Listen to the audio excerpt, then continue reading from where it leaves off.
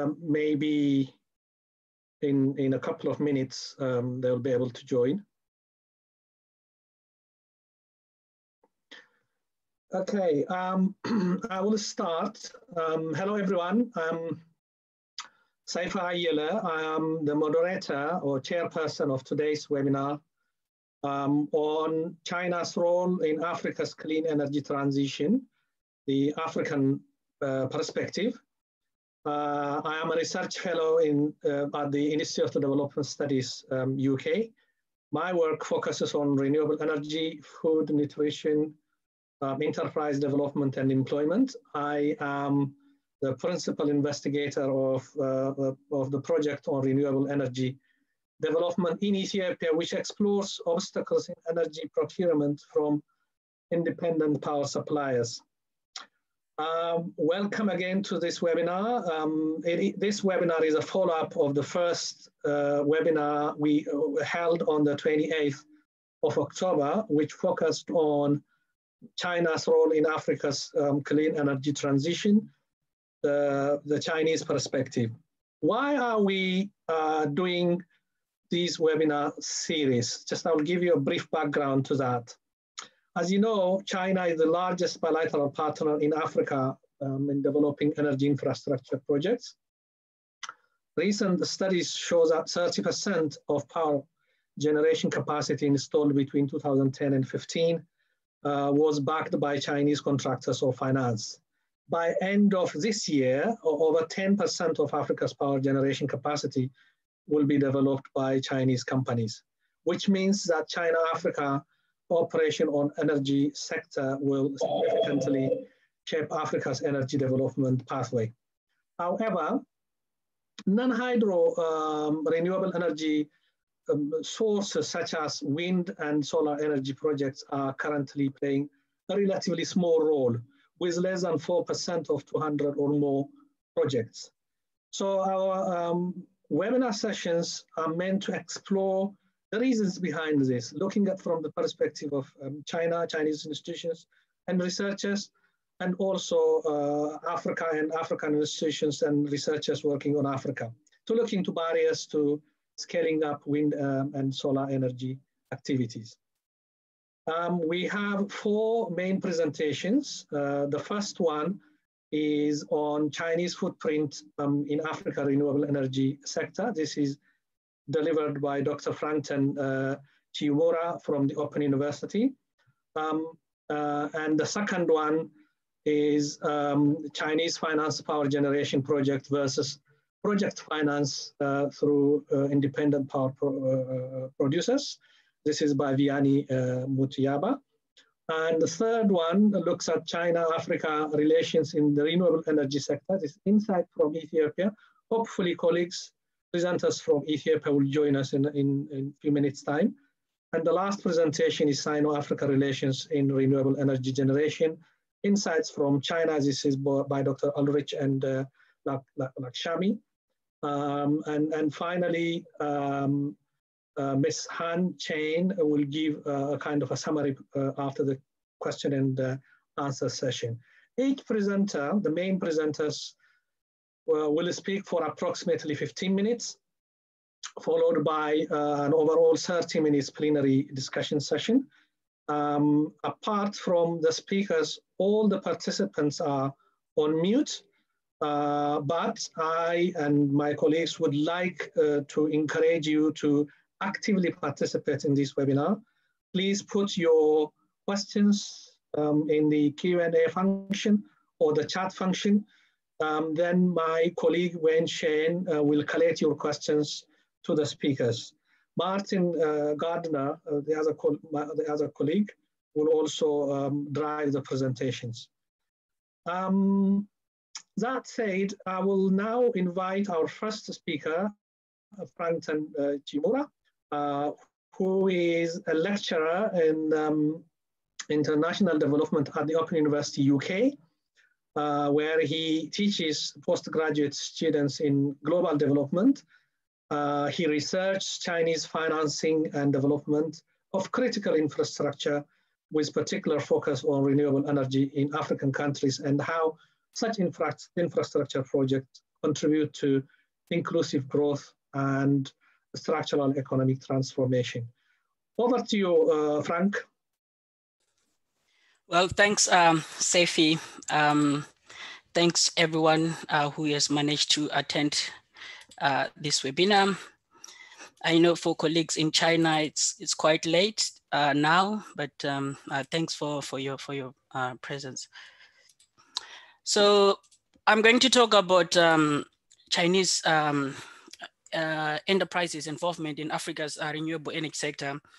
And um, I think uh, this this presentation comes from some of the work that I've been doing over the over the past um, uh, five years, some of which uh, come from my uh, PhD work, where I did explore Chinese enterprises involvement in Ethiopia's development of wind energy infrastructure and I was particularly focusing on Adama, Adama Wind Farm. And some of this also come from our recent work that uh, we are doing with, uh, with WayShareNet Ideas on um, um, uh, uh, Belt and Road uh, Initiative in Africa, uh, particularly looking at um, renewable energy um, in, in Ethiopia and South Africa as, as, as our case studies. Um, so I have got three items that I'm going to basically talk about uh, in this uh, uh, presentation. So obviously the first one, I'm going to give you a, a, brief background in terms of trying to map out the electricity or energy access challenge in Africa, and then um, uh, bring into perspective issues to do with uh, renewable energy resources endowment in Africa.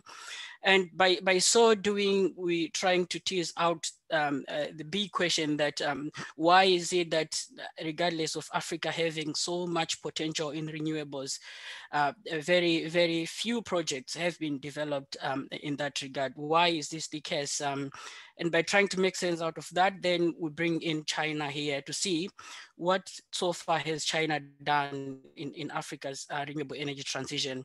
And obviously the central aim of this then would be to sort of unpack what um, and how China is contributing um, to towards development of renewable energy infrastructure in Ethiopia. Um, and then obviously when, when looking at this, um, I, I have sort of three issues that I want to explore, particularly on um, Chinese contribution to Africa's um, green energy transition. And obviously I have in mind here uh, the first aspect, which is on the project financing. So, so what are Chinese enterprises uh, doing in terms of financing um, uh, energy projects in Africa? And then the second issue then will be to sort of unpack uh, the construction perspective. What is it that the Chinese enterprises are doing um, in terms of constructing energy infrastructure in Africa.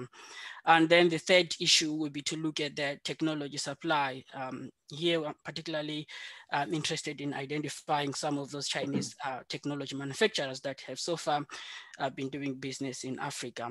And then obviously the third, the third um, uh, issue that I'm going to talk about in this presentation is to think ahead in terms of um, what options do we have in terms of transition to, to, to green um, energy in Africa?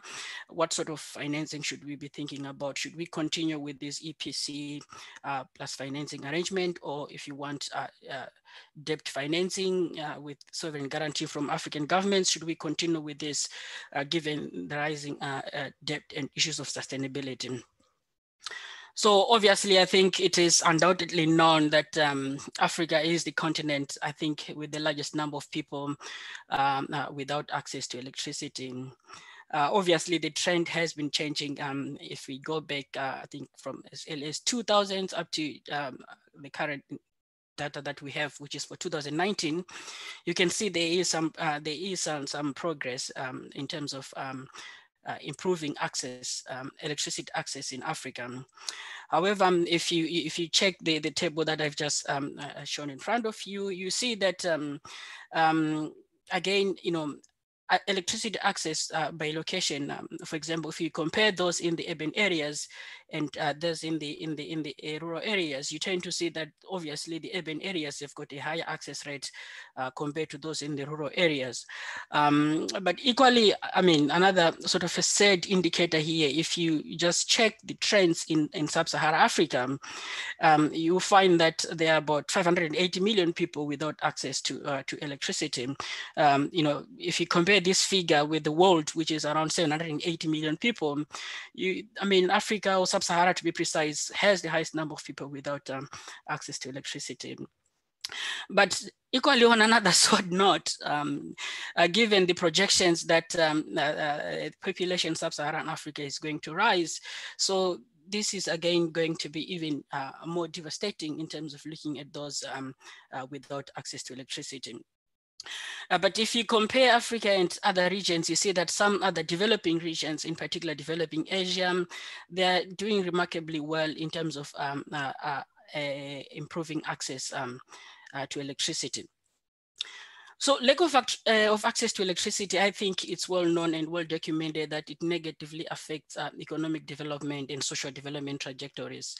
Um, and there has been some studies which sort of suggest that um, um, the unreliability of electricity provision in, in, Af in sub-Saharan Africa, to be precise, um, affects uh, sub-Saharan Africa gross uh, GDP growth by on average one to 2% uh, percent annually. So, so I believe that um, achieving universal energy access in Africa is crucial, uh, particularly as envisaged in some of uh, in, goal number seven of the Sustainable Development Goal, which is on about um, ensuring um, electricity access to all, which is modern and clean.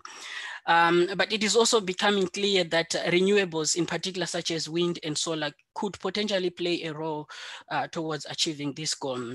And the reason why we specifically identify wind and solar is because um, obviously over the past 20 years, uh, the technology has matured, um, the costs are dropping in terms of uh, uh, uh, delivering this project. And I think there is now more international experience of delivering such kind of projects using different uh, delivery models. Could it be in terms of IPPs? Could it be in terms of EPCs?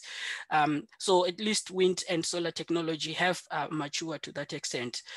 Um, but so, so what is the resource potential of Africa in this regard? And particularly, we are looking at wind and solar. How much potential does Africa has? There has been so many studies that have been done, I think, to try and assess um, using in particular uh, different um, uh, global uh, modeling uh, tools and data sets to see how much, uh, for example, wind does Africa um, has and how much of this can potentially be uh, used to develop um, energy. And there's an interesting recent study which was commissioned by IFC in partnership, I think, with um, with Evazoo, Vortex, and uh, Global Wind Energy Council, and uh, they they concluded that uh, Africa is highly endowed uh, with wind resource potential, um, which can be harnessed for electricity generation. And estimates um, move around uh, 180,000 terawatts hour per annum. And um, if you look at this, uh, this is, I think, more than 250 times than what Africa currently uh, uh, require. Because at the moment, I think Africa is sort of uh, generating around 700 terawatts. And um, if you compare it with 180,000 uh, uh, terawatts, which was concluded by this study, you see that there's quite a lot which Africa could benefit from the uh, from wind. Um, and again, the study also identified that some African countries uh, have got very high wind, um, uh, uh high wind regimes, which are strong and um, within the range of about 8.5 meters per, sec uh, meters per second. And um, I think Algeria has been identified as, as one of the uh, highest endowed country with a potential of about uh, 7,700 uh, uh, gigawatts. And some other countries include uh, South Africa, um, Ethiopia, Egypt, um, with having the potential of about um, uh, 1,000 gigawatt each. But besides wind, we have also not seen that Africa is also richly endowed, in particular with solar energy resources and um, um, as they say, you know, in Africa, you always have these 18 months of sunshine. Um, and so that literally translates to, you know, we have so much potential in terms of developing uh, our, our uh, solar energy uh, uh capacity or generation capacity. And I think recent studies do suggest that there's about 660,000, 100,000 uh, terawatts per year. And um, again, if you compare with that 700, uh, 700 terawatts, which Africa is currently uh, uh, uh, generating, you find that it's about 950 times um, so, so with such massive amount of uh, wind and solar energy potential, um, I think the transition to renewables, is, I think, is, is particularly possible. But the progress has been very slow, um, and obviously, we begin wondering why is this case? How do we explain um, uh, such slow progress? Um, so when when sort of trying to make sense of what do we know so far in terms of what has been installed in terms of the generation capacity from renewable here i've put uh, renewable in quotes uh, because uh, it also includes uh, large hydro. I know for some uh, uh, jurisdiction this is a very um, it's it's it's large hydros are usually not considered as renewable but they tend to fall under the sort of clean energy sort of category but i've just put here because in most in most of the places where I've been working, um, large hydros, um, they are asked by their governments, they are considered as, uh, as renewable. That's why I've put it in, in square codes here. But if you Frank, check- uh, Frank, Frank, just be aware that um, you've got um, four, five minutes left. Okay, all right, that's fine. Thanks, thanks a lot. Um, so in terms of explaining the progress, uh, we, we, we have identified, I think there are three main issues that have so far affected this. And uh, this uh, includes uh, issues of financing, and then there's also issues of uh, uh, regulation and the bureaucracy. And some have also identified issues to do with institutional inadequacies. Um, I'm going to just rush through this and I, I can come back to some of this during the Q&A. So in terms of identifying what the Chinese have been doing in Africa, um, uh, we, we, we identified those three issues, which is project construction, uh, project financing, and uh, technology supply. Obviously, data is difficult to establish, to, uh, to estimate how much the Chinese have so far contributed in terms of uh, project financing in renewables. But there are different data sets. Uh, for example, there's aid data, and there's also the Johns Hopkins School of Advanced International Studies CARI data set, which could also be reliable. But what I have to tell you, it's quite difficult then to sort of disaggregate in terms of this overall project financing, which one specifically is for renewables. Um, um, uh, in terms of uh, project construction, we have seen over the past, uh, I think, uh, 10 years, I think the Chinese have been contracted to uh, construct about 17 gigawatts, uh, of which the majority has been hydropower and renewables, wind, solar, biomass have been at 7%. Um, and when it comes to technology supply, obviously, uh, we have seen quite a number of Chinese companies uh, being um, sort of. Prosper. So Sorry? Carry on, uh, carry on. Okay, uh, in terms of um, uh, technology supply, we have seen quite a number of Chinese companies um, uh, supplying technology in, in, in Africa. And um, I think because of sort of the uh, the links or the connection between uh, Chinese EPC contractors and some of these uh, technology suppliers or manufacturers, they tend to sort of have this sort of uh, international uh, networking where if one EPC contractor, such as for example Sinohydro, gets a contract to uh, deliver a, a, project, then usually they tend to source the, the technology from their Chinese counterparts. notable examples of this are, for example, in Ethiopia, Adama One wind farm in Adama to, uh, these were EPC contracts uh, uh, contracted to Sinohydro. the technology, for example, for Adama 1 was sourced from Goldwind, and for Adama 2, it was from Sany, Sany Group. And there are other several cases um, in South Africa as well, where we have seen, in particular for the solar, for solar equipment, where we've seen quite a number of Chinese companies supplying um, the, the, the, the technology there.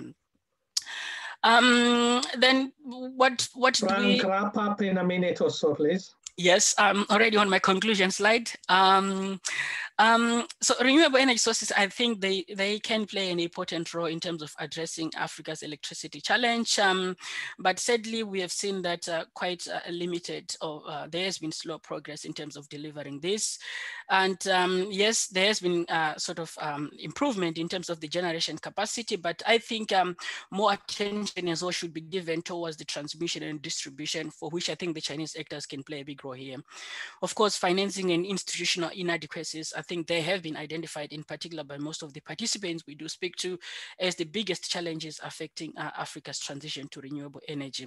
Then the final point is um, most of the participants that I've been speaking to in the previous five years, I think they do mention that uh, debt financing in particular with sovereign guarantee is no longer sustainable.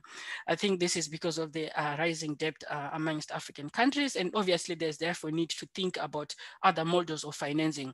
Can we bring on board here issues to do with equity financing and um, I think in terms of, of equity financing, again, still there's a very big risk, in particular by project uh, from as perceived by project financiers. But I want to bring here the South African Renewable Energy Independent uh, Producer Program. What lessons can can we learn from there? And um, are Chinese stakeholders interested in adopting this new model of financing? I'll, I'll end here. Thank you very much, Frank. Um, we move on to the second um, speaker, uh, who is Vianney Mutyaba. Vianney is um, uh, at the Electricity Regulator Authority of Uganda, and he manages electricity tariff structure and pricing and reviews um, investment proposals to inform decision-making and promotion of investment in renewable energy. Uh, he has a master's degree in finance from University of um, uh, Stellenbosch Business School, Cape Town. He's a member of um, Institute of Certified Public Ac uh, Accountant of Uganda. Over to you, Vianney. Thank you. Thank you so much. Uh, my name is Vianney, and I'm going to make a presentation on comparison between Chinese funded projects and the traditional project finance, and also look at the limitations uh, that China has faced in participating in wind and solar projects in sub-Saharan Africa. And I'll be drawing a lot of my uh, examples from my experience in Uganda. The outline uh, is, uh, I'm going to look at the history of investment of power sector in Uganda, in, in sub-Saharan Africa. Then I'll look at the difference between Chinese funded projects and uh, uh, project finance uh, then the reasons why China has limited participation in, in wind and solar. Um, so if you look at the history uh, of um, power sector development in, in sub-Saharan Africa, before 20, before 2000, there was predominant government participation of, uh, in terms of financing public infrastructure, including power. And over time, uh, that um, uh, uh, that put a strain on, on government resources, of course, amidst uh, other competing priorities and other sectors. So governments in sub-Saharan Africa, starting uh, 2001, shifted uh, to encourage private sector participation in, in, um, in, in, the power sector. Uh, so as, um, as that happened, of course, maybe the next slide.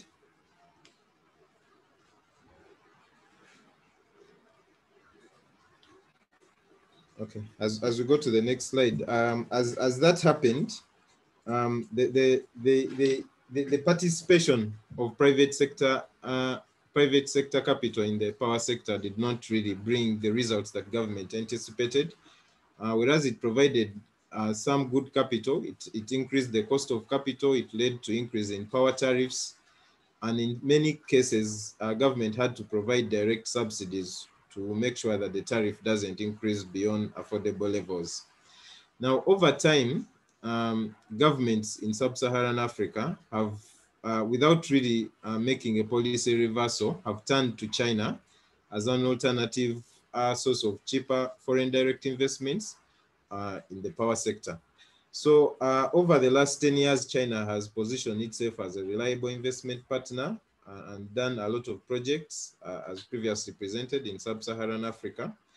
But uh, the question that has always been asked that um, is whether China's investment uh, uh, uh, is really fair, and there's been a lot of considerable controversy from mainstream development finance practitioners about Chinese investment. That and there's been a lot of criticisms regarding China's investment in Africa which we are going to look at.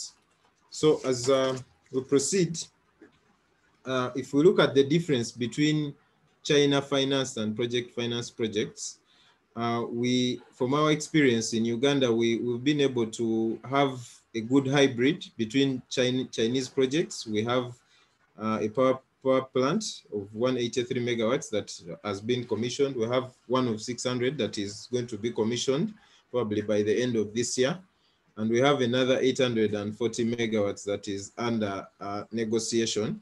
Uh, and then we, have had a lot of uh, IPPs that have come in on a typical project finance basis, but also we have a lot of, we have some projects that, that were done by government. So we have a good, um, our portfolio is well diversified to do this kind of comparison.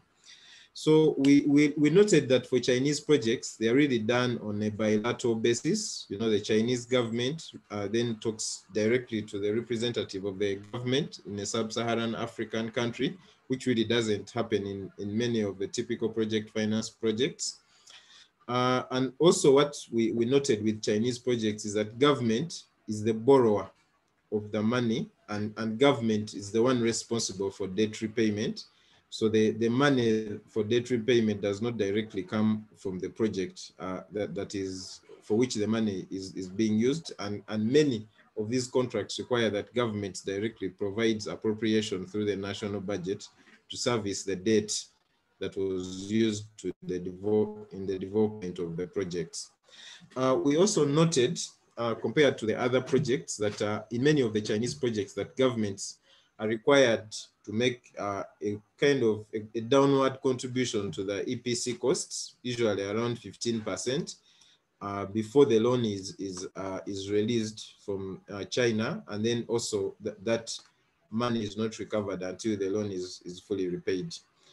Um, the other uh, I, aspect that we, we discover that is very different from a typical project finance is that usually the loan repayment in the, on the Chinese projects is not uh, pegged on the commercial operations of the project.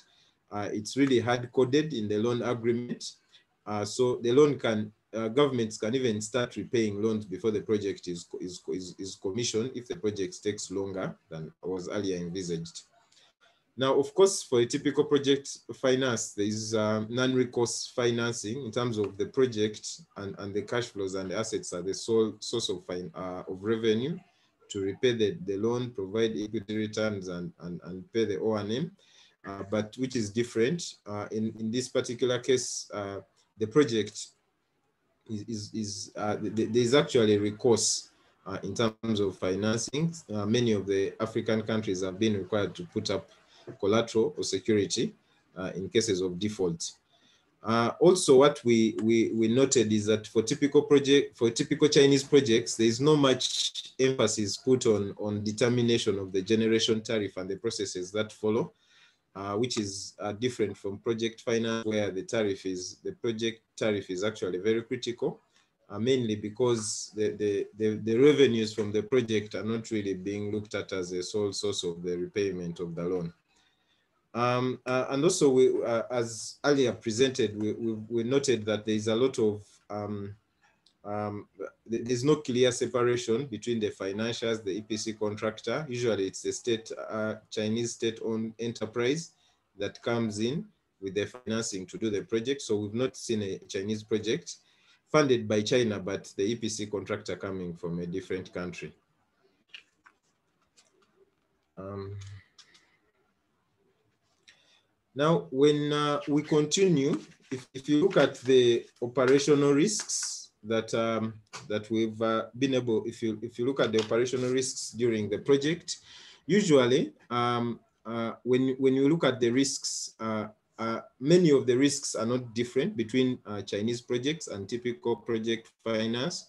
If you look at the the, the risks during project development, um, they, they affect both Chinese projects and, um, and, and projects done under project finance because they really include project uh, risks of cost overrun, of, de uh, of delays of designs. We've, we've, we've had Chinese projects that have delayed, for example, in Uganda, but also we have had projects that have delayed um, uh, that are funded through typical project finance. Of course, we've also had projects that have had cost overrun under a typical project I finance IPP framework, but also we have projects that have had cost overrun uh, funded by Chinese. So I, I, think the, the, the, the risks uh, are really cut across in terms of uh, whether it's Chinese or, or uh, typical IPP. But when it comes to operational risks, usually what happens uh, for Chinese projects, like the ones we've done in, in Uganda, is that the, the Chinese company constructs the projects and then hands over the projects to government or a government uh, nominated agency to do operation and maintenance of the project. And we've seen that come out as a, a very big risk uh, that I think many countries should be looking out for.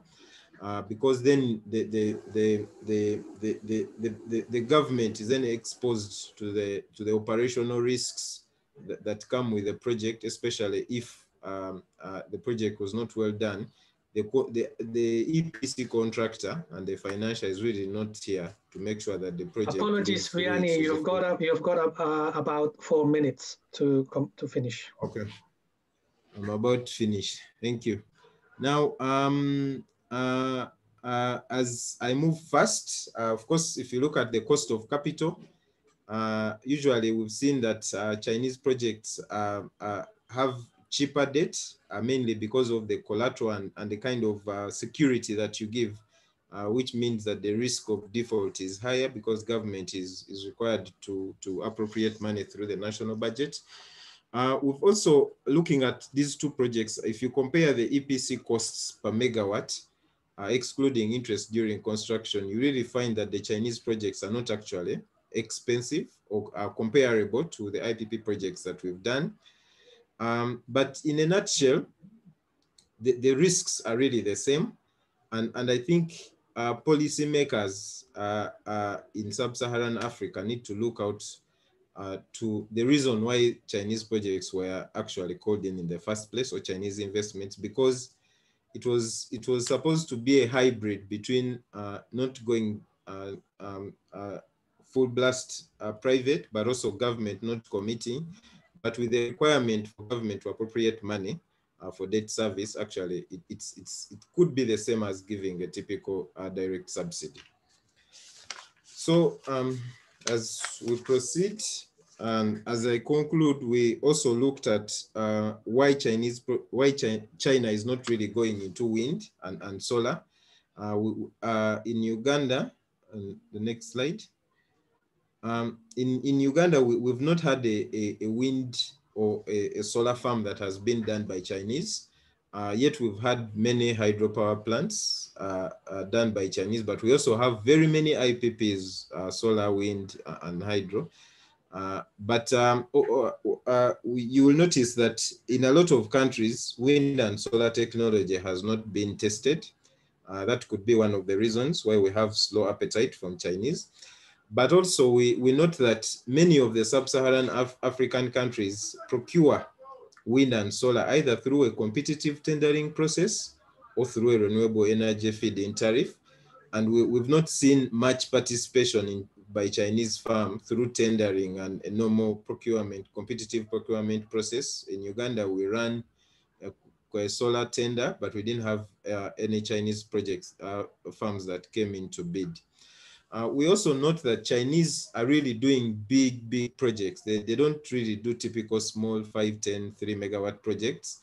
So because the projects are huge, they would want to do solar at a very big scale. Many of the, the, the, the grids, the electricity grids in sub-Saharan Africa are not developed to handle large intermittent renewable energy like solar. So uh, that is why when China comes, they want to do five megawatts of solar, and then many of the grids cannot handle that intermittence uh, of, of, of, the technology to be able to absorb to be to be to absorb the, the energy without just causing instability in the grid. Uh, but also uh, many of the African, sub-Saharan African countries are running refit procurement uh, um, uh, policies, and these are mainly targeting small renewable projects, mainly below 20 megawatts. And that's why, because China is doing very big projects, they, they don't really look into small projects uh, uh, uh, in, in, in Africa. So thank you very much. That's my presentation. Thank you so much, Vianney. Um, right on time. And the next uh, presentation um, is on China-Africa relations in renewable energy sector insight from Ethiopia. Um, this is a joint presentation by Mr. Halawi Lako, who is um, an engineer, um, uh, energy expert uh, with years of experience who holds a master's degree in renewable energy. Uh, Halawi is uh, a managing director of the Ethio, Ethio Resource Group. Um, he is joined by his colleague Getnet Tesfaye, uh, who is also an expert um, in, in uh, renewable energy. Um, hello. Hello. He's had um, uh, a long experience like Halawi. Um, and hello, Getnet is also ahead? a director of policy and planning uh, at um, Ethio Resource Group. Halawi, um, the floor is yours.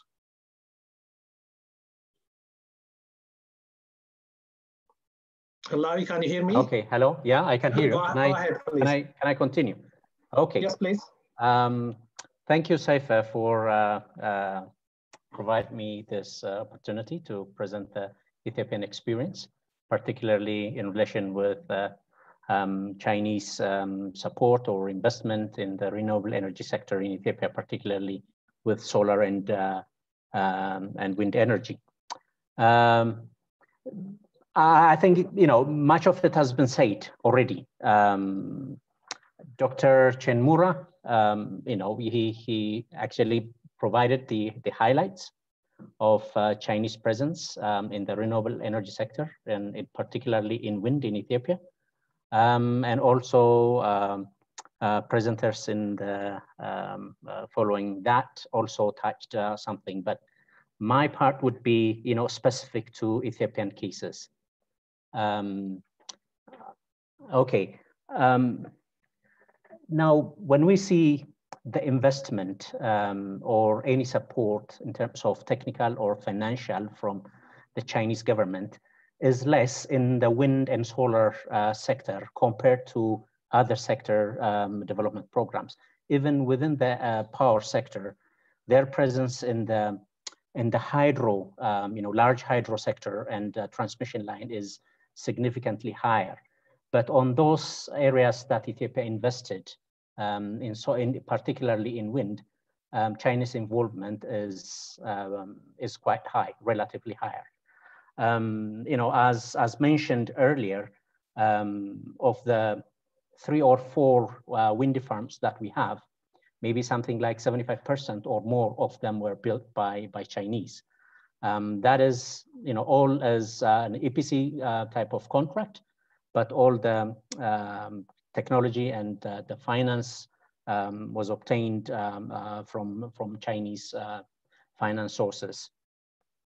So, you know, the the two um, um, uh, maybe the second and the third wind farms that we developed in Ethiopia, Adama one and two um, each with uh, you know 50 uh, and 150 uh, megawatts um, is, is developed by the Chinese. All the technology and the, finance is also obtained from uh, from uh, China, which is a total uh, of a little over 200 megawatt capacity.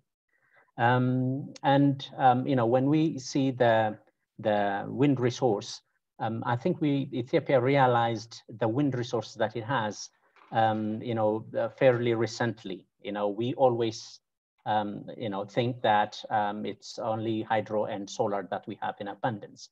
But um, once we actually did the national resource wind and solar resource assessment, then there are plenty of uh, places where uh, wind can be uh, really of significant potential.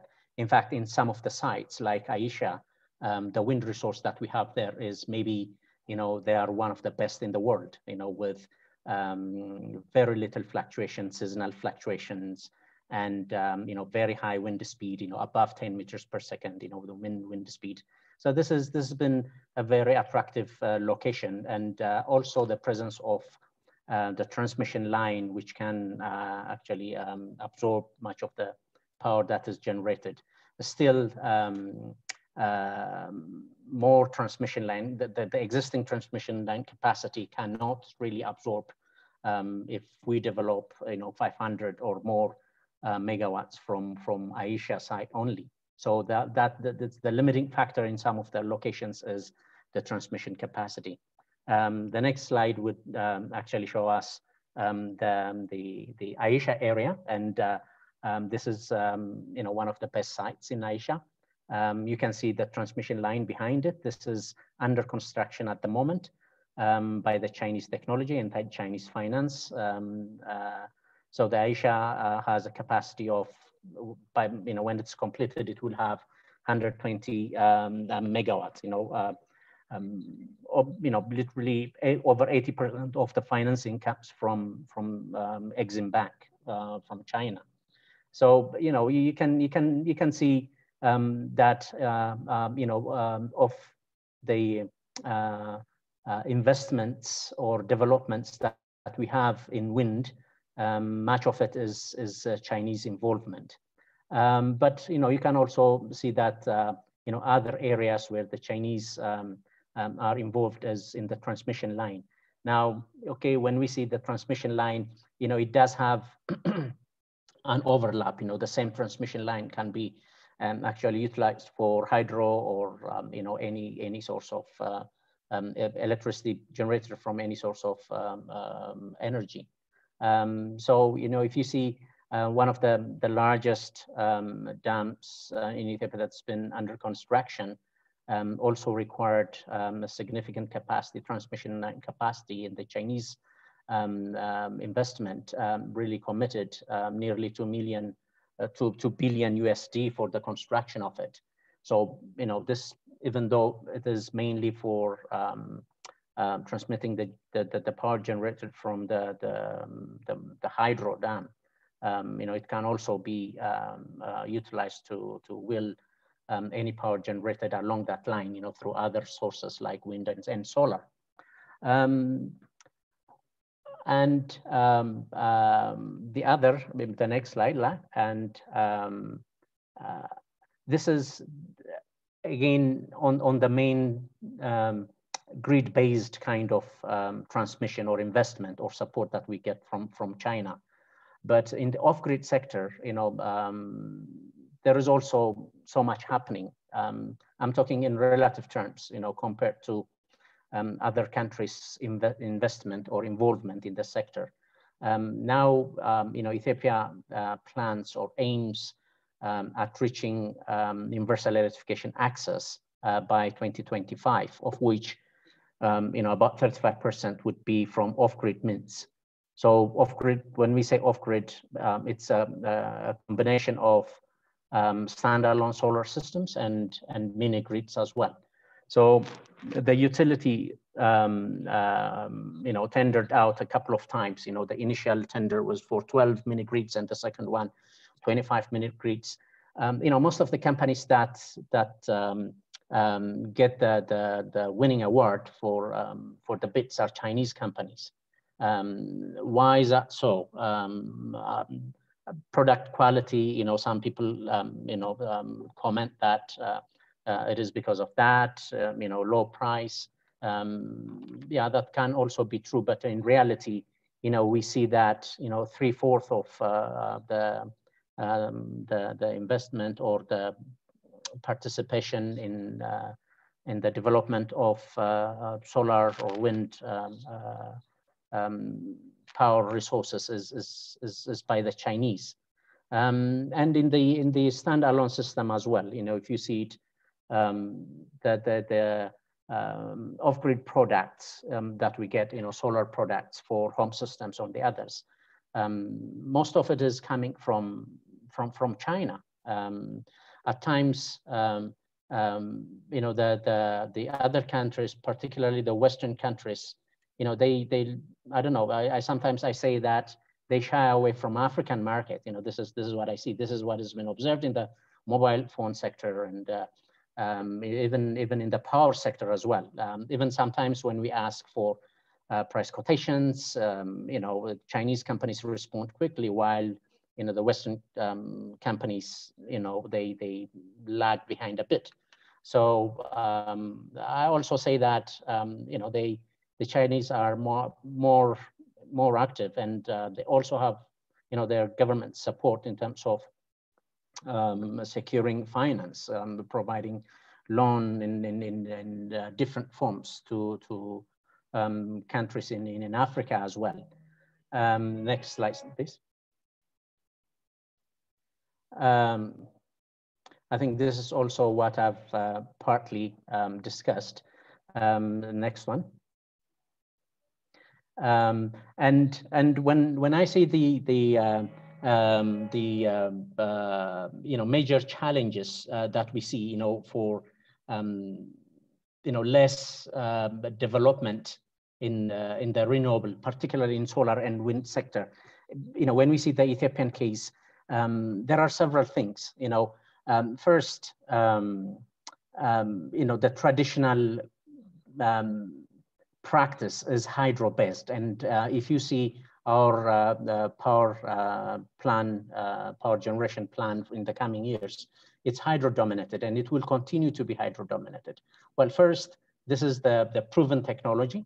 And second, I think the technology itself is mature. So the price variation um, is, not, is not really much. But when it comes to solar and wind, if you see all the, the, the, the power plants, you know, the large power plants, um, wind power plants are owned by the public, you know, the government. It's only EPC contract that the, the, the private uh, international um, uh, um, developers participated.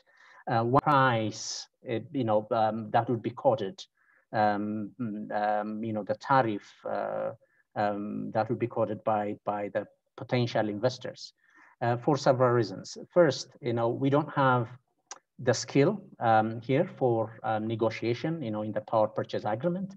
And uh, also, as it has been said earlier, you know, securing sovereign guarantee is also, um, you know, we see it, um, Ethiopian government see it as, as a kind of um, challenge and uh, potential threat in the future, because, um, you know, this has been observed in time that um, technologies, solar and wind, continuously their tariff um, you know, um, goes down. So um, if government um, um, secures or locks one agreement, then the next year or the coming two years, the price significantly drop down and they feel that they would lose. So this is also another, another challenge. So every time they want to wait um, until uh, we get the, the lowest uh, price.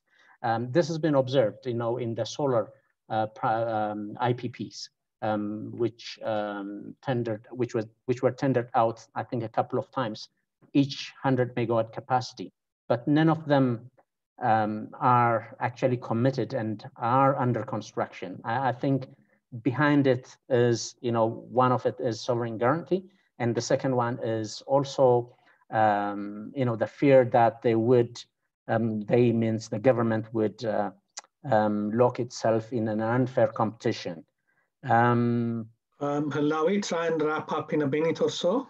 Okay. Um, on the other hand, um, you know, uh, we see that we lingered um, for some time, still deprived uh, with sufficient power. And, um, you know, the thing that doesn't actually help government to make decision or hold governments to make decision is not really calculating the cost of not having um, electricity or not having a reliable electricity. Had we actually known that, we could have actually secured, you know, to certain, take a risk to, uh, to secure certain um, IPP, um, IPP plants. So this is, this, these are, you know, some of the things that are, um, that I see as challenges for um, widespread uh, um, uh, development of solar and wind energy in Ethiopia.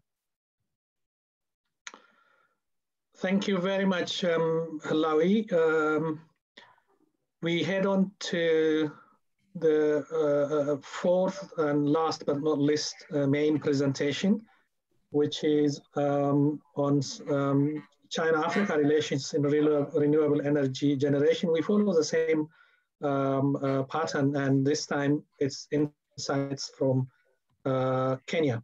But the this is again a joint presentation uh, by Dr. Ulrich Hansen and uh, uh, uh Lakshmi Bhamidipati.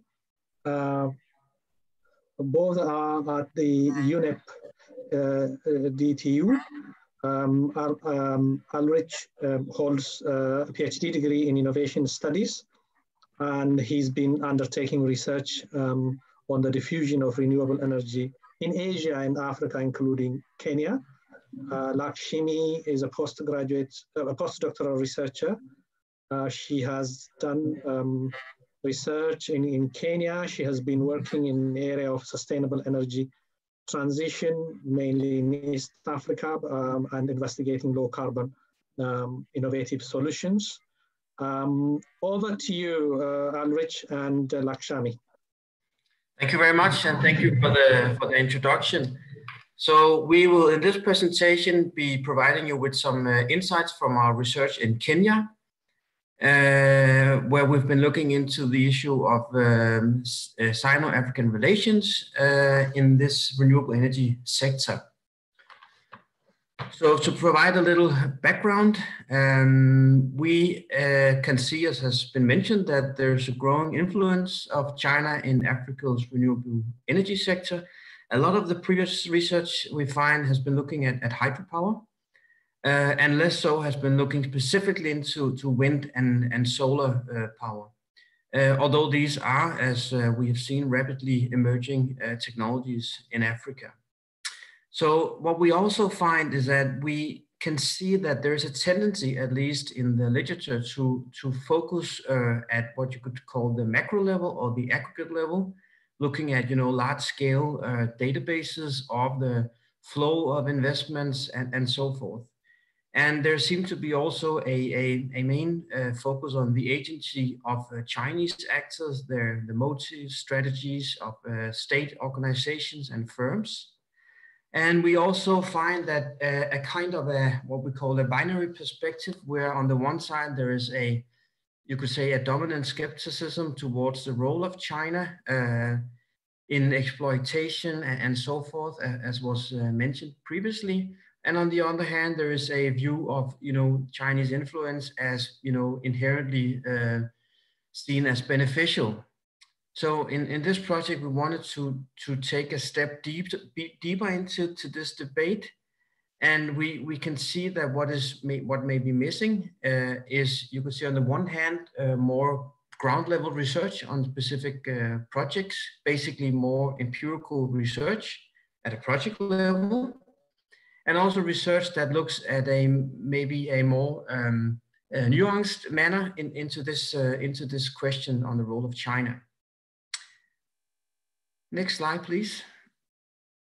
So what we did in this case was to look specifically at a, uh, at a big uh, solar power project in, in Kenya. It's the first of its kind, you could say, in East uh, Africa. It's a relatively big one of 50 megawatt, which was uh, put into operation uh, in December 2019. In this, uh, this project was located in the Garissa County in the northeastern part of Kenya. Uh, relatively close to the uh, Somali border. And uh, this is a kind of, you could say, a very Chinese-led project, which involved a Chinese project developer, financing source, technology, and the EPC contractor. So in its own right, it's a kind of bundled project with a heavy uh, Chinese dominance. So on the Kenyan side, there were uh, a number of actors involved, the, um, the owners, not least the Rural Electrification Agency and the Ministry of Energy. And to, to put it very shortly before we present our main findings, what we did in this uh, project was to kind of look at what we call the, the encounters or the frictional encounters between the involved Chinese and local actors. And you could say encounters is something that is going on on the ground, so to say. Um, and we look specifically at the role of the issue of employment and uh, uh, community development. And a lot of this is based on the fieldwork, interviews, focus group discussions with uh, all of the actors involved.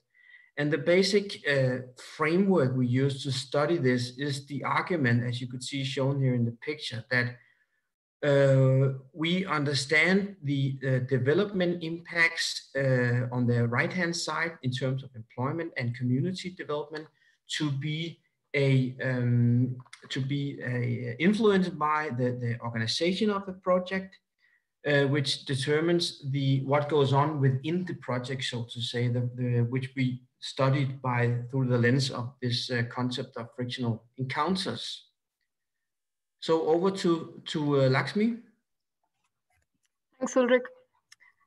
Um, so now we are zooming into these two aspects like Ulrich mentioned. So on the local employment side, we see that the project, uh, and this is, we're talking about the construction phase, most of the employment, uh, a larger chunk of the employment is generated in the construction phase, much smaller in the operation phase.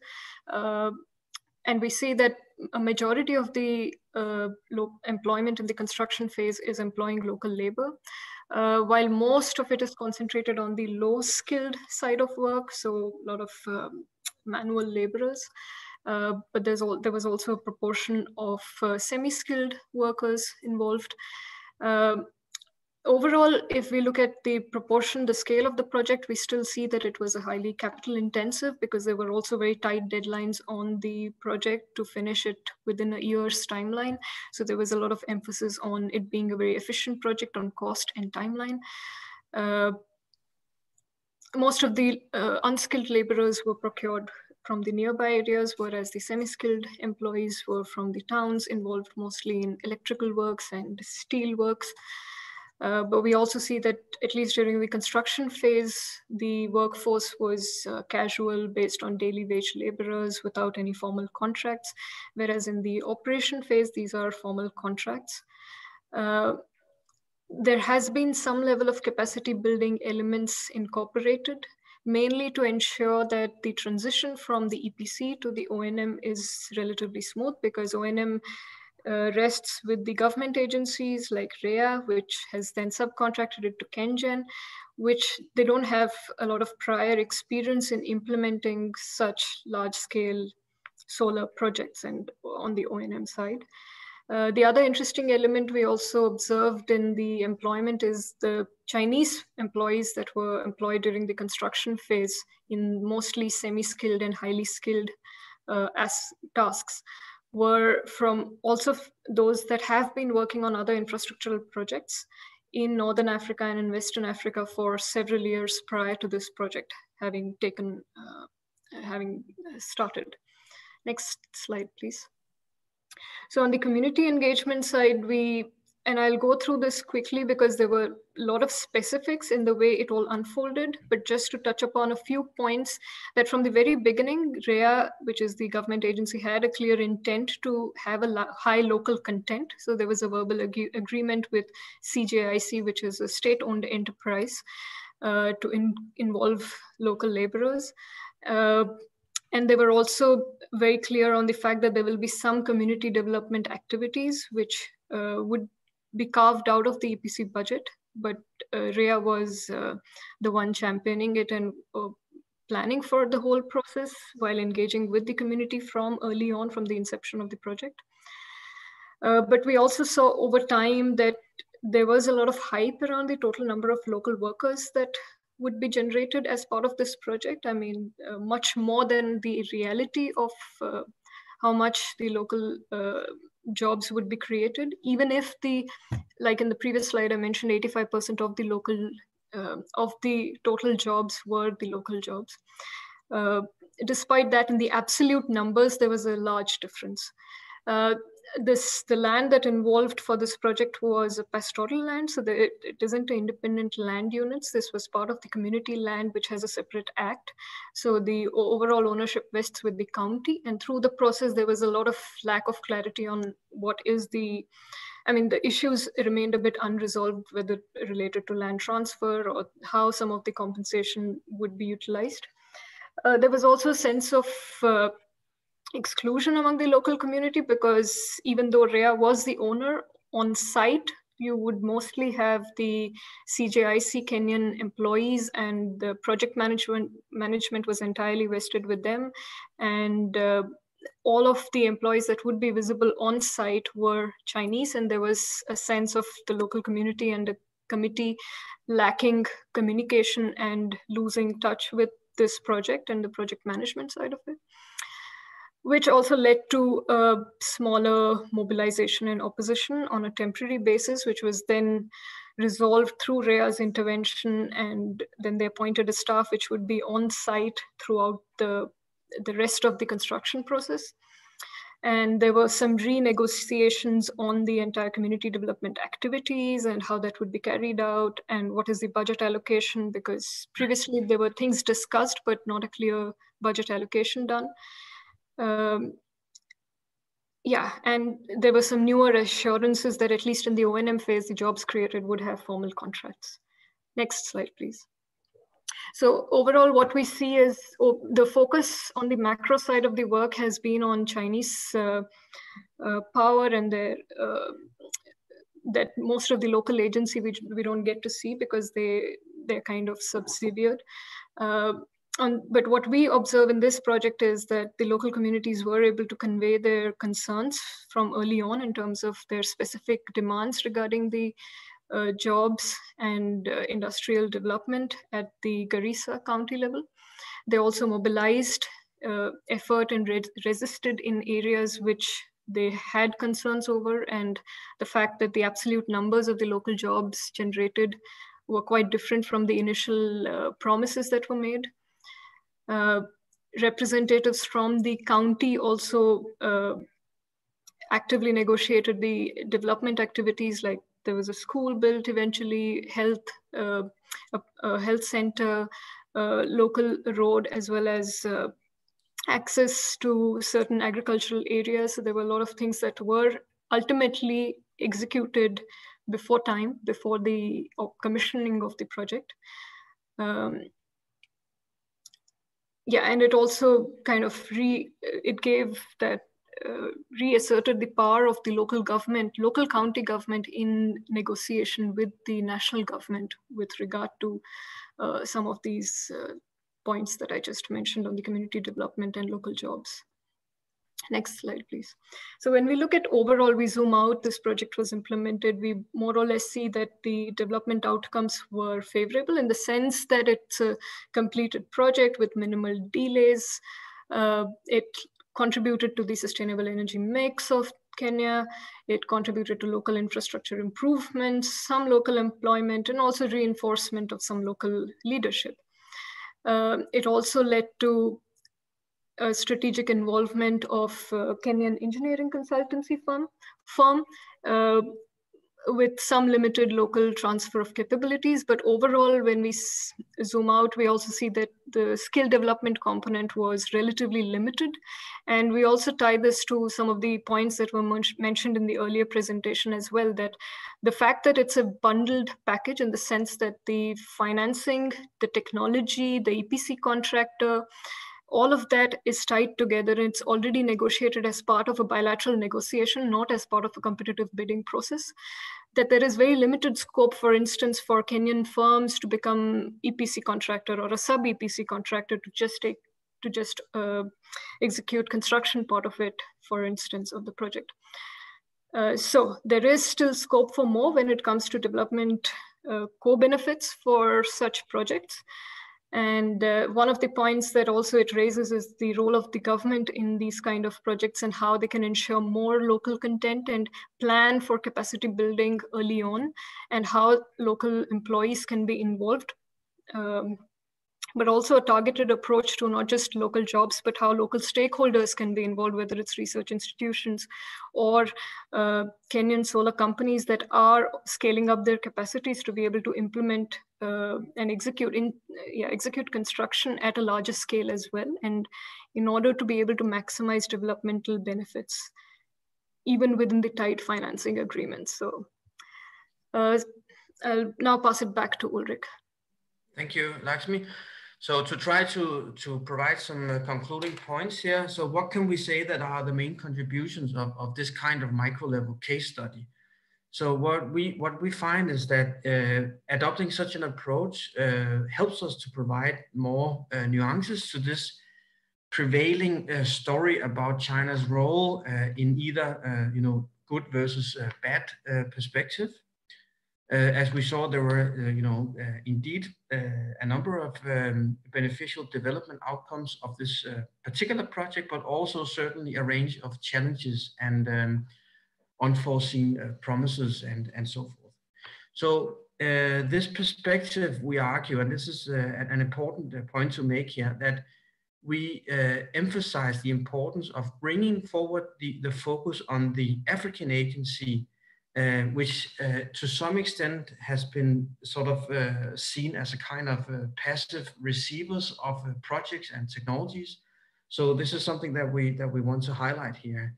And related to that, the deliberate need for strategic intervention also from the from the government side, it actually to assist in um, uh, in uh, bringing forward these development impacts. So in, in that in that sense, we, we see this uh, this micro level perspective perhaps as a starting point to uh, additional uh, research going into um, opening up this black box of, of uh, Sino-African relations at the project level.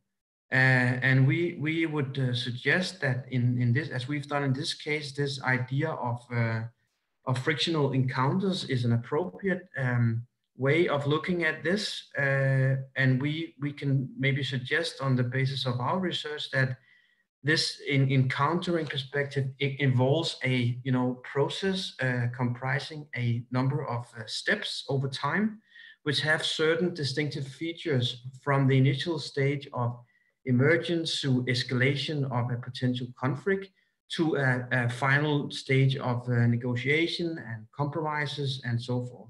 And all of these encounters may involve three main actors, the project owners, project contractors, and, and local community actors.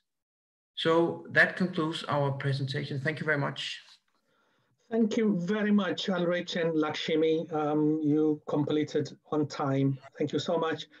Thank you all um, uh, speakers for your insightful uh, contributions. Um, before I invite Ms. Han to provide her concluding remarks, um, I would like all the speakers to respond to um, questions by uh, participants. Um, the first question is to Frank. Uh, the question goes as follows. Frank, you mentioned um, there are lack of transparency and accountability of Chinese renewable projects. And um, part of your slide uh, wasn't clear to show this, but how can we work towards transparency of these projects. Frank. Yeah, uh, thanks, Saifi, and uh, thanks to uh, the participant who asked that question. Um, I, I, think uh, issues of transparency and accountability have been identified um, as sort of some of the challenges that in particular um, uh, African governments uh, or not necessarily from a government perspective, but maybe the public has been sort of experiencing when trying to make sense of uh, these deals involving uh, Chinese. But I should also mention that um, even though I think um, uh, the distribution of this tend to be more from the Chinese side, I think regardless of the source or the origin of the firm, there are issues to do with transparency, even from European companies or even from American companies on that slide, I think um, I think it was referenced to I think three or four uh, solar power projects. So when I referred to or I categorized them as unclear, it means that we don't have any information so far about what has happened next. Uh, there was just an uh, probably a reporting that um, uh, company X has sort of entered into a, a deal with the African government to develop X amount of wind or solar, then it ends there. So from there, we don't know whether what is the phase or what stage is the project is. That's why I categorized them as, as, as un unclear. But obviously, yes, issues of transparency, I think um, is one of the big challenges that really African governments and publics in particular are really facing. And I think it does feed into issues to do with, um, you know, debt, you know, contracting local content, because rarely do you find such information out there in the public domains. Thank you very much. Um, any of the speakers would like to come in and um, um, add to what to what Frank said? You're most welcome. No? Okay. Um, moving on. Um, um, the next question is for Vianney.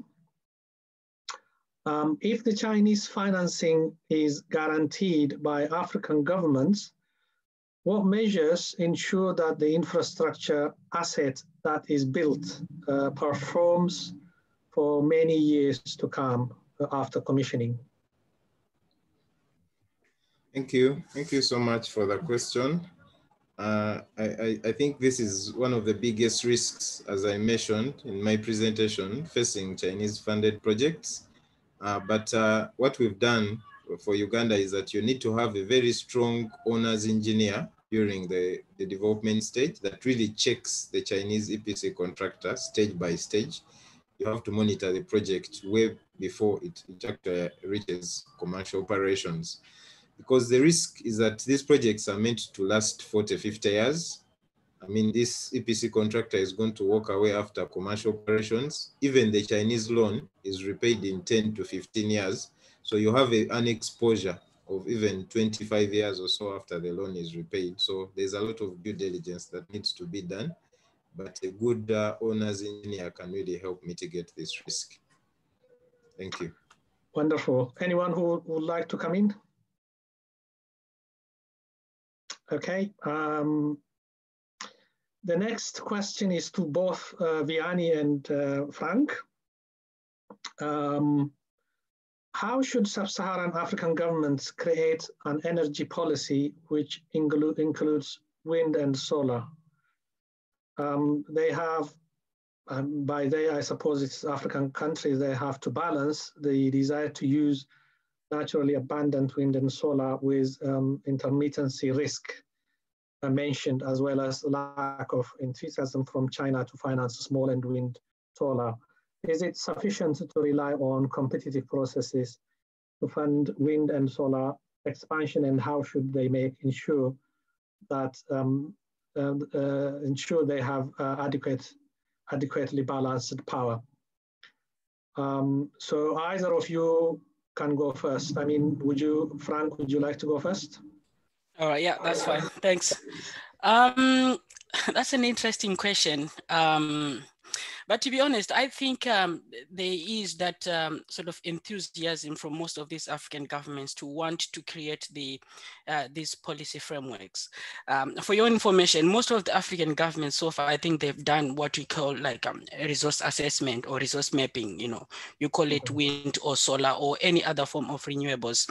They've so far done this assessment. They've seen the potential, but obviously, you know, um, most of these they're sort of logged in into, for example, it could be hydro, right? They are logged in into that. So, and the risks associated with wind and solar, in particular, the intermittent aspect, you know.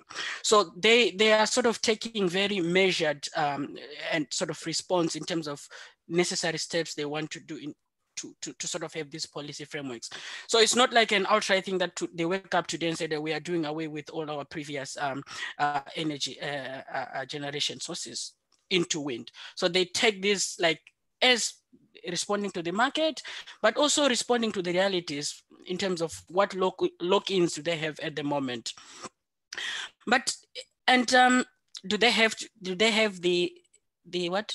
They have to, to balance the desire to use natural abundant wind and solar with intermittence uh, risk. Of course, yes, I mentioned the issues of, um, of intermittence, but then the, the, the, let's see, is it, they have to balance the desire to use naturally abundant wind and solar. The desire is there, uh, right? Um, but probably maybe the political commitment is something which is lacking. You'll be surprised that most of these African governments, they have already some sort of, some not near complete police framework, but they have some sort of arrangement like wind, for example, the master plan for wind and solar. You find countries like Ethiopia, they already have this and they're moving towards a policy framework. You go to countries like South Africa, they already have um, uh, wind uh, uh, solar uh, uh, master plan. So the desire is there, um, but for example, South Africa, they've been locked in in coal production, in coal generation. So that switch from coal to wind then is, you know, there are political, uh, uh, economic related issues that they have to take into consideration. Okay, um, Vianney, would you like to add to what Frank said? Thank you so much. I can add briefly that um, I, think what many African countries are doing is that we can do a big capacity, but we spread the location to different places. You can do 500 megawatts, but maybe 50 megawatts across 10 sites. So then, then you're able to distribute the risk.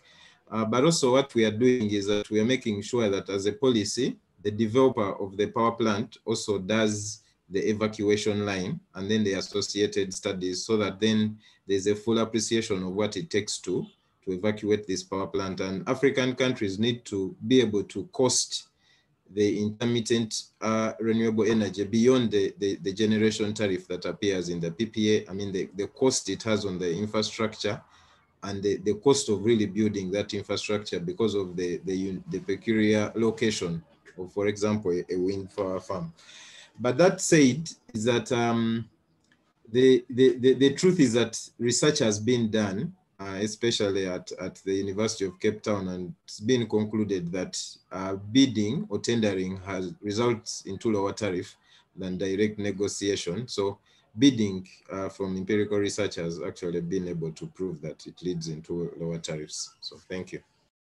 Thank you both. Um, now I would like to bring in um, Halawi. Um, um, Halawi, you spoke about uh, capacity limitations. So the question to you is how can we develop the skill to negotiate tariff agreements as Africans?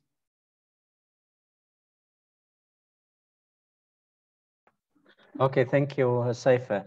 Um, I think first it's good to see, you know, when we say capacity limitation, you know, what are these capacities, you know, that we are limited to, you know, initially um, you know, if I take you back a bit, you know, we've been discussing about uh, um, policy framework for diversification.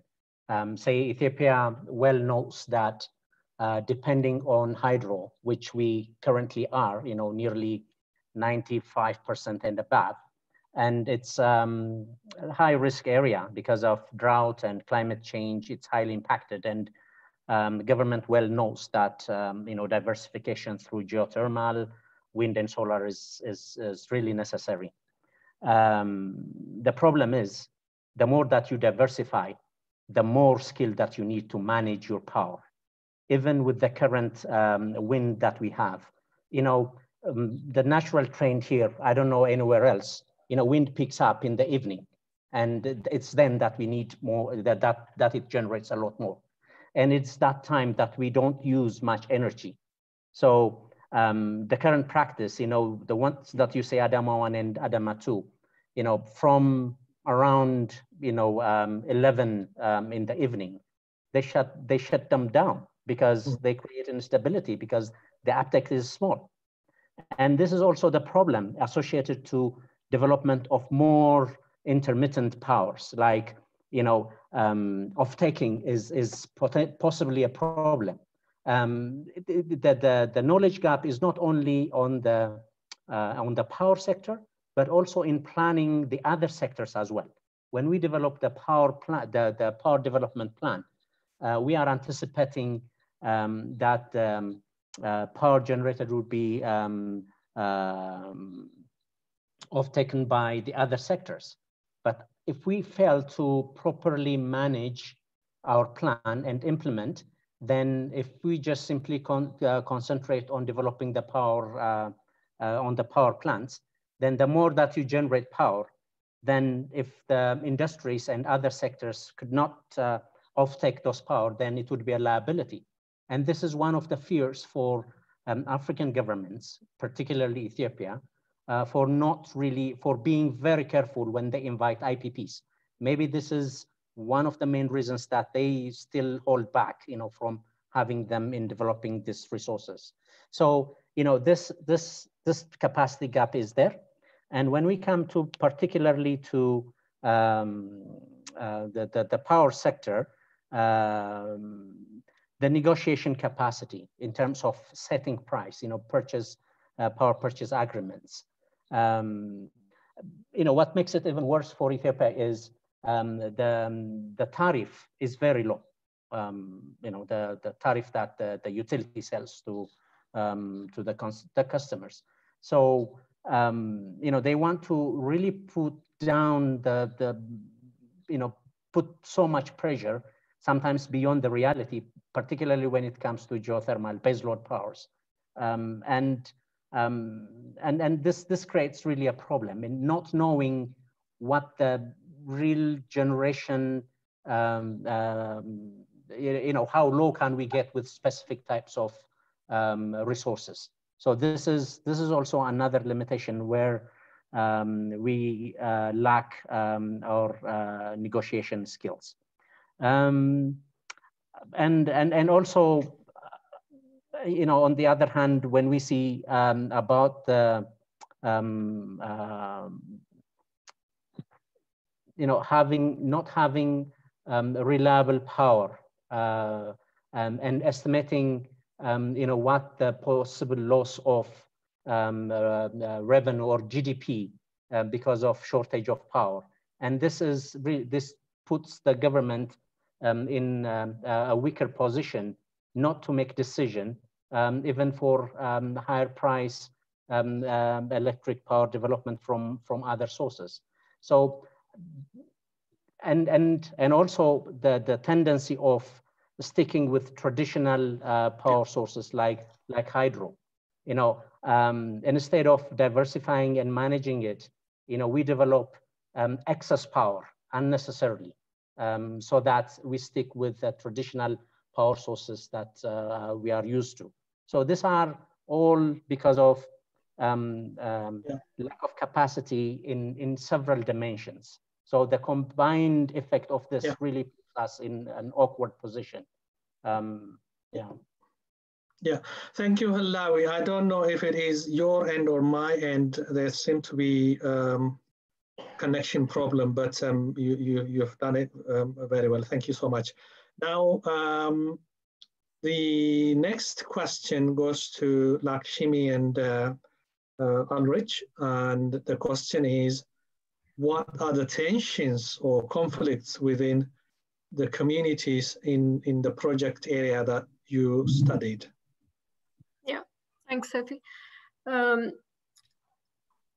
I mean, just to clarify one thing before I get to it, that because this did not involve, uh, because the main project land was not, okay, typically in renewable energy projects, we see that the conflicts are around land, community engagement, labor issues. I mean, that's the classic.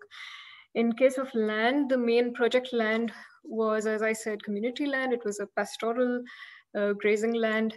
It uh, rest, rests with the county government to have that negotiation with the national government because it's been diverted for public purpose in terms of how the county could benefit from it and how it could repurpose, I mean, how it could use some of the uh, yeah, developmental benefits. It all falls under the Community Act of the Kenya.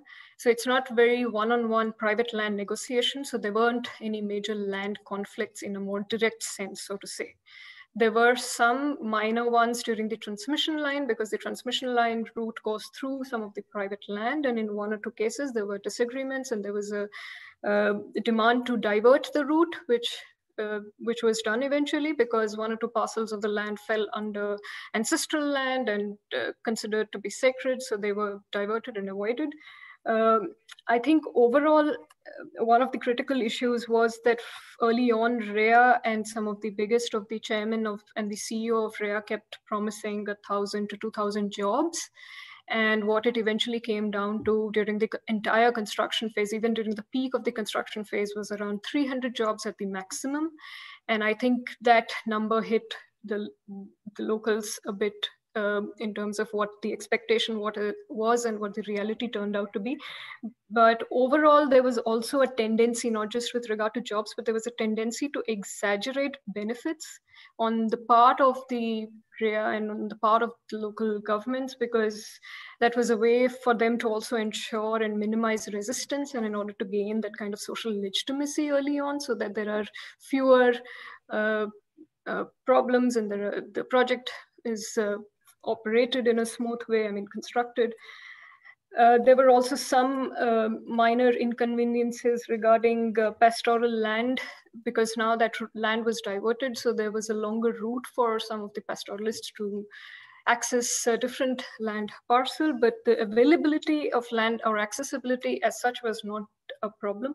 And there was also a higher expectation for more uh, community development activities. So uh, they had additional demands that were initially, uh, that were not considered because of budget uh, restrictions. Thank you very much, Lakshmi. I will bring you in, um, uh, Dr. Hansen, in a moment, um, because I want to give some time, a few minutes to Ms. Han as well.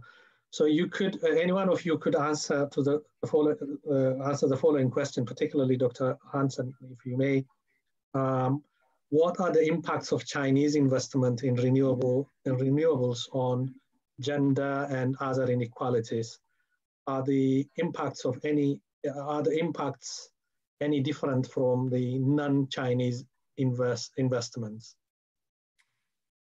Yeah, if I can chip in here, I think that's an extremely good question. Uh, uh, and I think, at least from my perspective, there may be others who, who, who see this differently. But I think it's it's it's uh, it's in a way too early to tell. I would say we we have, uh, as we started to to um, talk about that, we have so we have relatively limited knowledge at this point about uh, the, what's going on in specific projects in this uh, non-hydropower renewable energy uh, area like solar PV and, and wind power projects. So I have the feeling that research now is very much on a case by case basis, and we're trying to accumulate knowledge of what is actually going on uh, to understand what, what this uh, phenomenon of Chinese involvement in renewable energy in Africa is actually looking like, right? And then the, the logical next step would be to say, okay, once we have a sufficient amount of you know knowledge, we can go into looking at how does that compare with non-Chinese projects.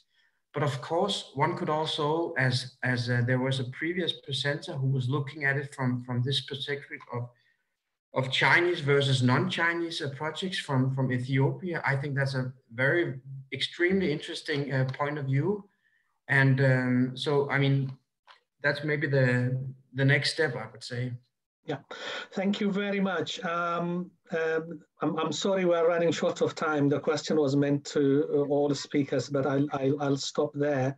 And now uh, I would like to invite Ms. Han Chen um, to give uh, a quick uh, um, wrap up, um, concluding notes on both uh, webinar sessions. Uh, Ms. Um, Han Chen manages N NRDC's work to promote uh, global energy transition and address climate change at international level. Uh, over to you, Ms. Han. Thanks so much, and thanks to all the presenters from today and from the other session earlier a few weeks ago. I think, you know, just some thoughts trying to draw together both of these different sessions is that, as Dr. Wei mentioned during the first session, there's the high energy potential uh, for renewables in different countries in Africa, which uh, Frangton also mentioned as well in this section, and also high leadership from um, you know Chinese companies in both solar and wind.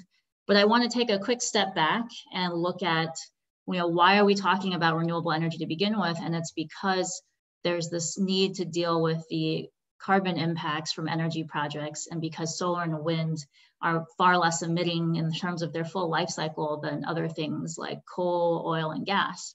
And that's very important because, as you can see from the slide, China committed very recently in September 2020 to reducing and peaking emissions by 2030 and then getting to net neutrality or carbon neutrality by 2060. Now, what does that mean for the Belt and Road? I think it's a very important thing because what it opens up is either a lot of new technology at lower cost for renewables that can be exported or developed in Africa with companies from China. But on the other hand, it also opens up a huge risk because what we could see is that as China moves towards more low carbon energy domestically, companies that have not made that transition in China could end up exporting you know, technologies that are not as useful in China anymore, whether that's coal or gas, et cetera, that can be exported more to other countries in Africa and elsewhere.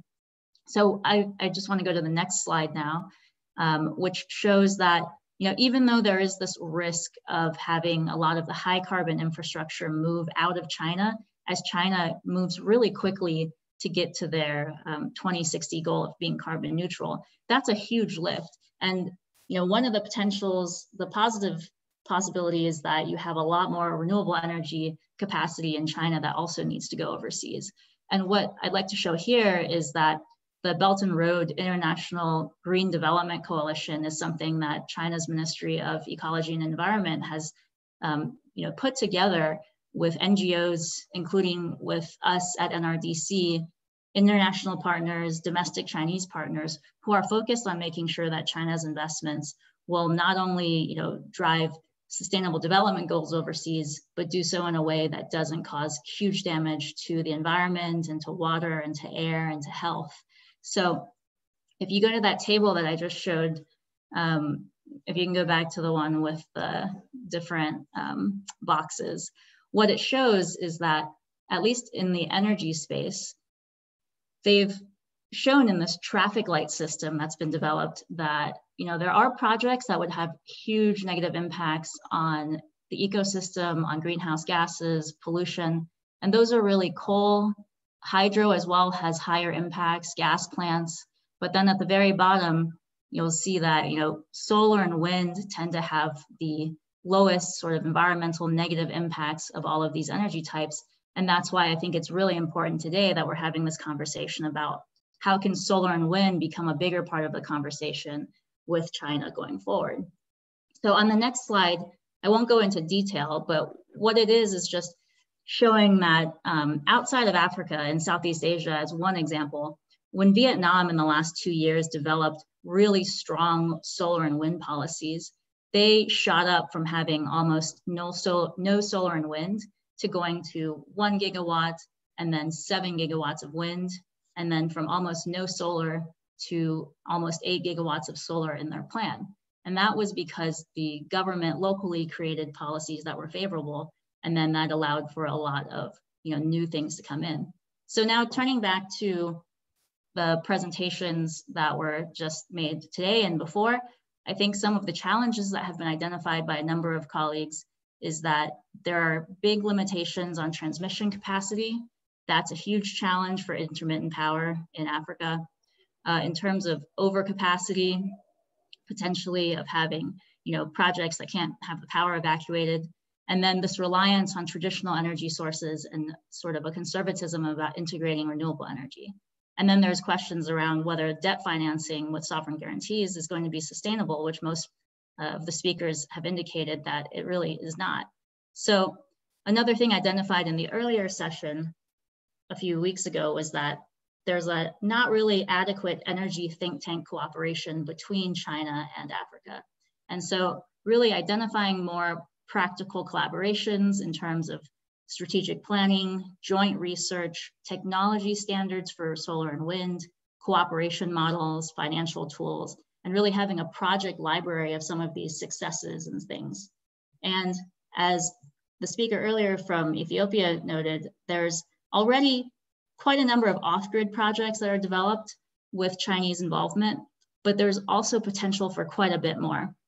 So even though we are seeing in places like Zambia, you know, 600 megawatt large projects coming online, we're also seeing this gap in terms of off-grid power potential.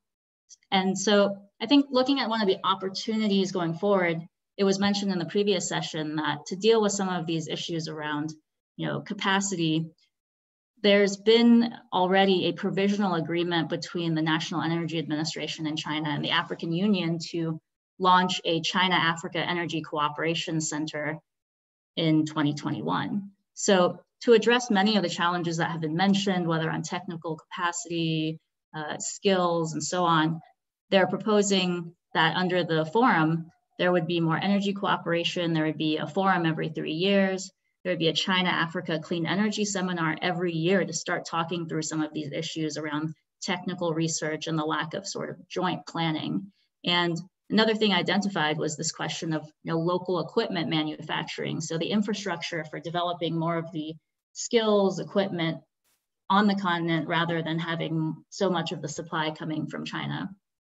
And so based on the excellent presentations from you know, the last day and from the previous discussion, some areas of research are obviously on you know, African agency and the role in negotiating projects, which was mentioned several times today. The need to improve the wind and solar policy frameworks of different governments, which was mentioned by Vianney and by Frangton. That's a huge challenge because whether it's China or someone else, it's hard for any of these countries to, um, or companies from outside to come in when the risks are so high and that translates into high financing costs for many companies. And then on the Chinese side, one of the big, big issues that was mentioned again today is how can the Chinese companies better integrate the considerations of employment and community development as they're developing policies to go into different countries. And another area for discussion would be, or future research would be really the bidding and procurement process. And will Chinese stakeholders engage more in those types of systems? Are there going to be more bilateral deals or risks of bilateral deals that will cause them to turn to new systems? And then I think both Vianney and Halawi mentioned that there's a need to deal with these price fluctuation issues, the lack of confidence in where prices are going. Do we have systems that move from feed-in tariffs to auctions, straight to auctions? I think these are all questions that either in the framework set up for joint cooperation or through you know, seminars like this, it can be discussed what's the right frameworks for different countries and different um, setups. And then finally, uh, I think as the case study from Kenya showed, there really does need to be more in-depth research on specific cases to highlight the, the challenges and opportunities moving forward. So I appreciate the opportunity to um, participate in this discussions. And I think, you know, I guess final note would be that there's a lot of cooperation potential with Chinese NGOs and with a lot of international organizations in China, including the civil society side and energy think tank side for enhanced cooperation with African uh, think tanks and NGOs to um, accelerate the renewable energy potential. Thanks. Thank you so much, Ms. Mahan Chen, and um, you've made an excellent summary. I have nothing to add except to thank all uh, the panelists and and yourself for the time and the contribution to this debate. Uh, I would also like to thank participants for joining the call and um, putting forward the useful uh, questions. Uh, obviously, as you noted, these two sessions um, are just the beginning, so we will aim to have more sessions on similar topics and we will keep um, participants informed about um, our upcoming events. Uh, for now, um, I declare this session closed and bye.